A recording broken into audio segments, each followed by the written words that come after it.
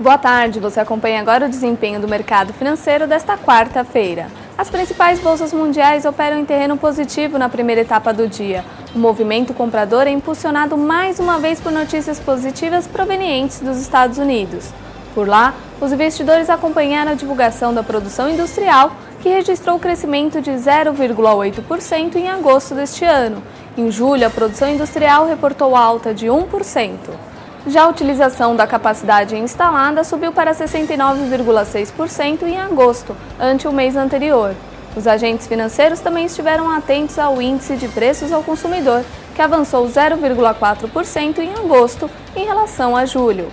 Por sua vez, o déficit em conta corrente norte-americano ficou em 98,8 bilhões de dólares no segundo trimestre de 2009. Este é o menor patamar desde 2001. Já o fluxo de capital estrangeiro ficou negativo em 97 bilhões e meio de dólares em julho.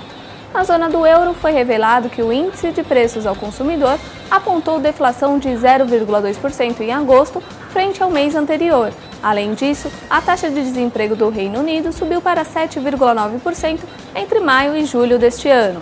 No âmbito corporativo, a Bertin e a JBS firmaram um acordo de associação para unificar as operações de ambas as empresas. A JBS também anunciou hoje a aquisição de 64% do capital social da Pilgrim Pride, companhia norte-americana do setor de frangos.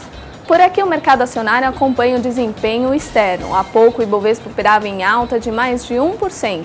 Internamente, o Ministério do Trabalho divulgou que a economia brasileira abriu 242.126 vagas com carteira assinada no mês passado, caracterizando a melhor leitura para agosto desde 1992. Na renda fixa, os contratos de DI sobem no médio e longo prazo. Há pouco, o DI com vencimento em janeiro de 2011 apontava taxa anual de 9,80%. No câmbio, o dólar fechou a primeira etapa dos negócios em baixa, vendido a R$ 1,79. Voltamos às seis e meia da noite com mais informações. Investimentos e notícias, seu portal interativo de economia.